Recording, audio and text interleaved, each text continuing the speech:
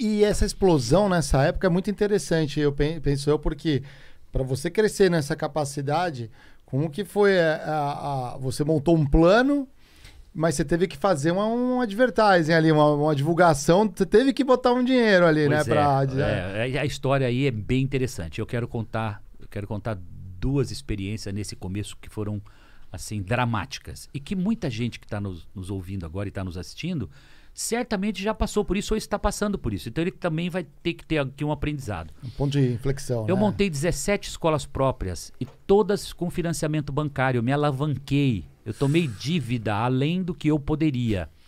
Não fosse o Plano Real em 94, o Plano Real chegou em 94, o que, que o Plano Real fez? Eu tinha dívida em dólar. Tá? Eu tinha dívida em dólar. Então, os contratos dos computadores de leasing, todos os contratos de dívida. Até carro era, né? Era dólar. tudo, era tudo em dólar, caminhão, tudo. É. Então os computadores leasing em dólar, subindo assim, tá? E deflação na mensalidade dos alunos. Ou seja, todo mês o aluno pagava menos, porque ia deflacionando, tirando a inflação que estava sobre o preço. Por causa do plano, é. Por causa do plano real. Sim. Meu, seis meses depois eu não tinha dinheiro para pagar mais. Professor, aluguel, prestação de computadores. O que, que eu faço? Isso era 94.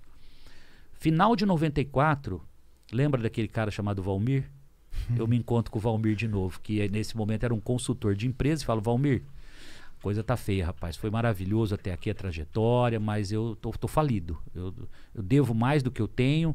Eh, se não tiver uma saída, provavelmente eu vou voltar a ser programador, vou voltar a, a ser um executivo do mercado de novo, porque acho que o meu negócio. Ele olhou para mim e falou assim: por que, que você não transforma em franquia? Num papo assim de encontrar numa rua, parar o carro e trocar figurinha ali. Ele falou: por que, que você não faz franquia? Isso foi num podcast, ele falou... assim, Janeiro de 95, fevereiro, março, em três meses eu monto a Microlins Franchising. Fui buscar know-how onde eu nem existia, eu nem sabia o que era franquia, você não tem noção, nem sabia. Qual que foi essa jornada, assim? Meu, foi eu indo... peguei um advogado, o advogado falou, cara, eu vou descobrir, ligou para São Paulo, para uma outra empresa, pegou uma cópia de um contrato que um amigo passou para ele, ali nasceu o meu primeiro contrato de franquia, cara. Eu entreguei, o que, que eu fiz? Eu vendi as 17 escolas para um empresário que estava com dinheiro, Falei, você vai me pagar 8% de royalties sobre faturamento? Cada escola tinha mil alunos. O negócio era maravilhoso. A margem era estupenda, muito boa. Né? Então tinha margem. E o cara via, tá aqui, ó. E se, enfim, eu dava um monte de garantias pro cara, né? Se, se não for verdade esse faturamento, você não me paga o royalties. Botei tudo em contrato mesmo, porque eu confiava no negócio. Alguns meses depois, três meses, quatro meses, eu passei todas as 17 e comecei a receber royalties.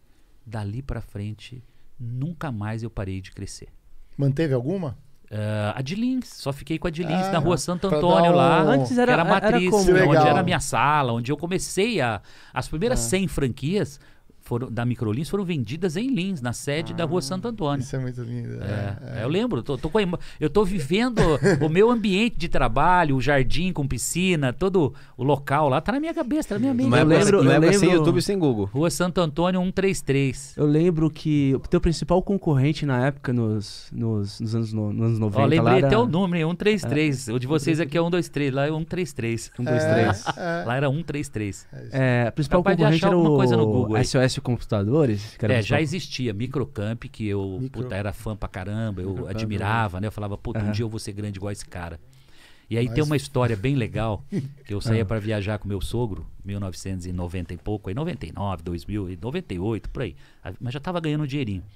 E eu cheguei com uma BMW 325 em Campinas, na, na concessionária da BMW, e estava uma, uma série 7, cara, uma 740, porrada assim, estacionada com o nome do dono da Microcamp.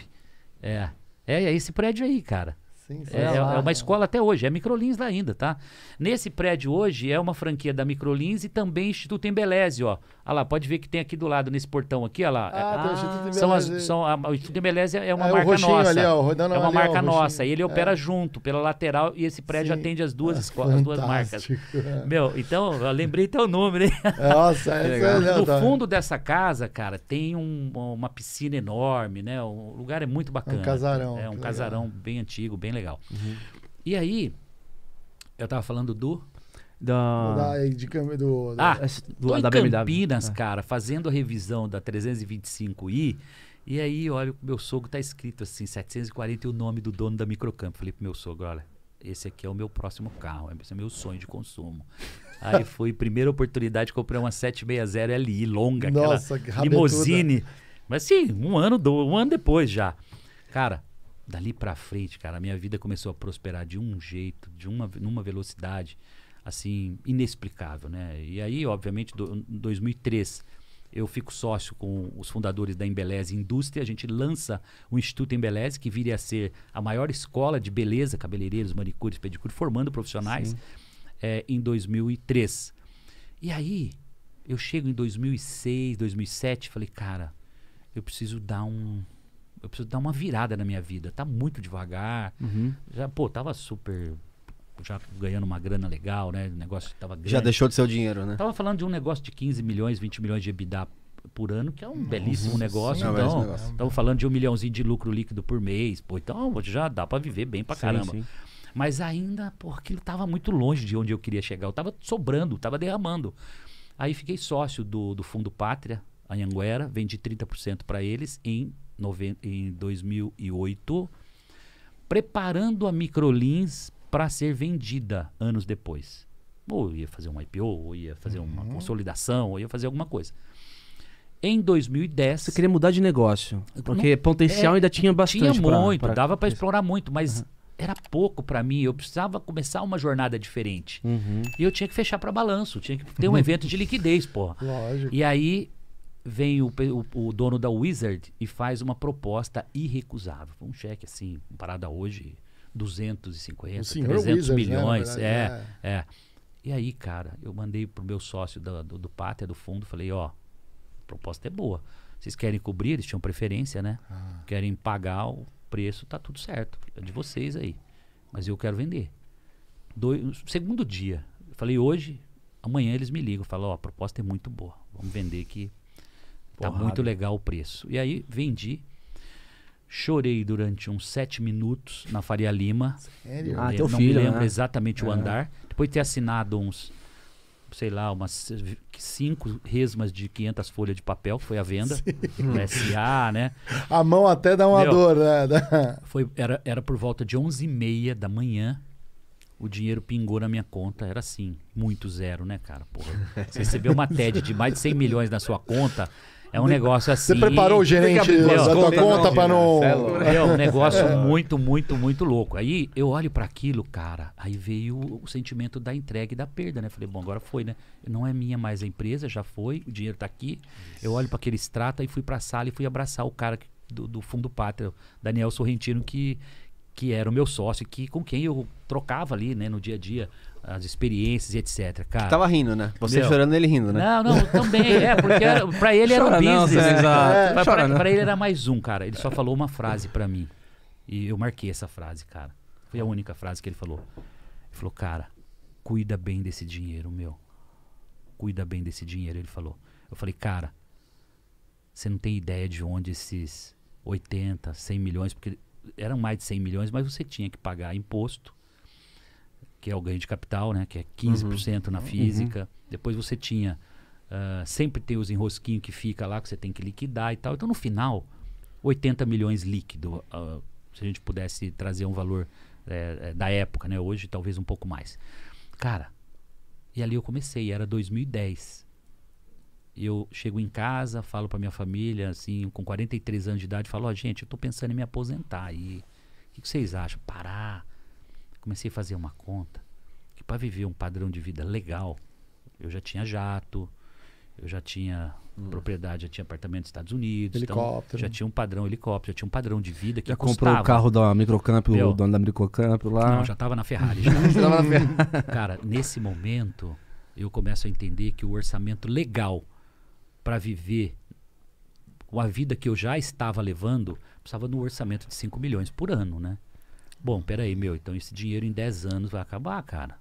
Porque a tendência é até melhorar o padrão, né? Claro. Falei, não, não, não, não. Sempre pra cima. 44 meses depois eu fundo a SMZTO, a Hold de franquias.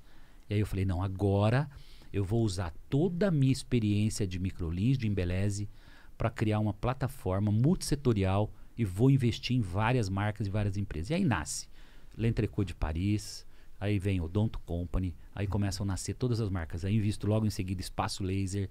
E aí comecei a montar a plataforma. Buffets. Cara, negócio Guaco, Joy, Joy Juice, que é o Green Joy.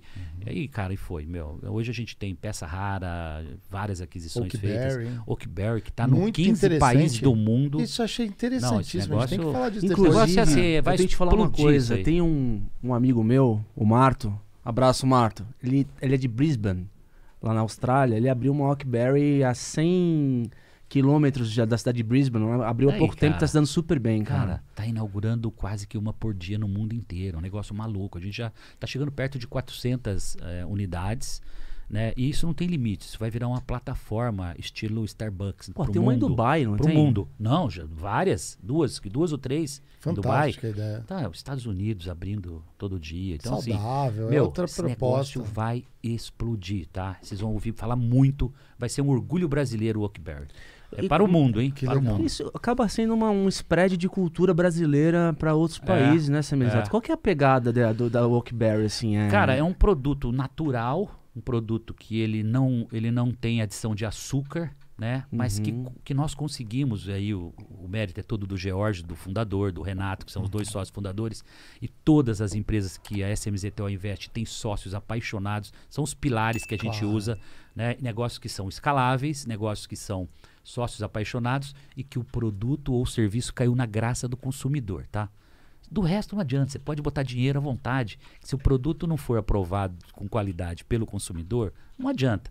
Então esses são os pilares principais que a gente usa para investir. Né? Ah. É, O ano passado a gente comprou três empresas. Foi o Instituto Gourmet, uma escola de, de culinária.